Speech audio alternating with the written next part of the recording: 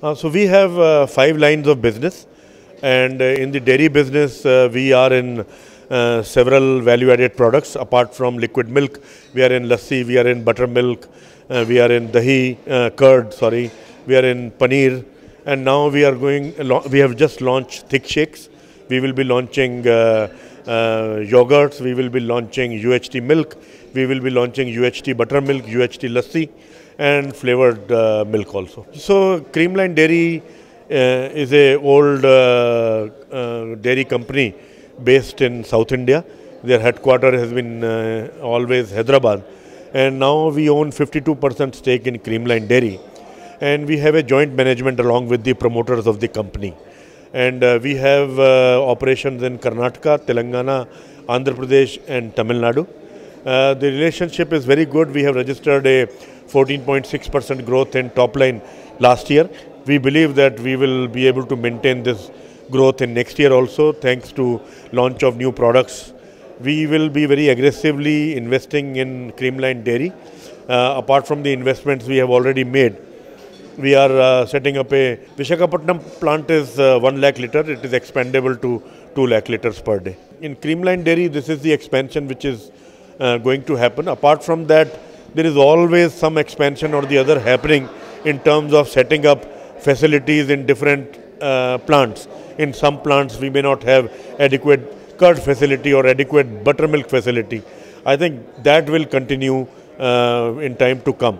But as of now, in this year, we will commission a new plant at Vishakhapatnam. So milk will grow at 5-6%. It is a very important food product of India.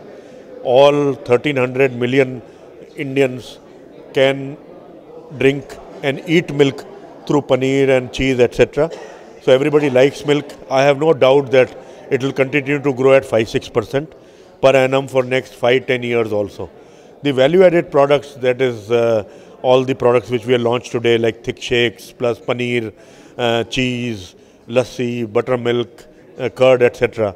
The growth rate is above 20% and that will be uh, continued uh, for a long time because as India becomes richer, more and more value-added milk products will be consumed. Uh, we are very excited to be in the dairy industry at Godrej. Uh, almost 22% of our turnover last year came from dairy. Uh, we don't want to expand everywhere and spread ourselves thin. We would restrict ourselves to the five South Indian states for next one or two years.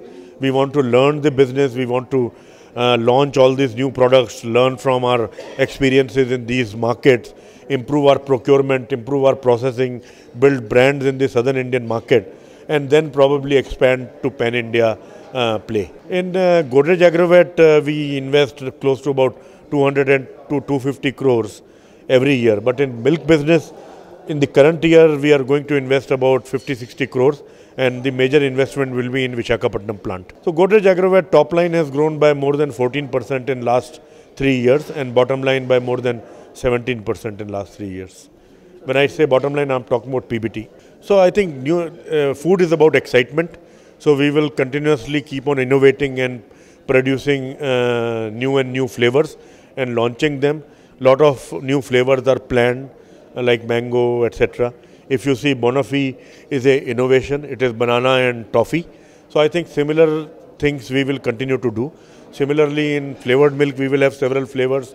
We will also have several flavors in the yogurt also. Mr. Bhaskar Reddy, Managing Director, Creamline, said that uh, market is very good and growing.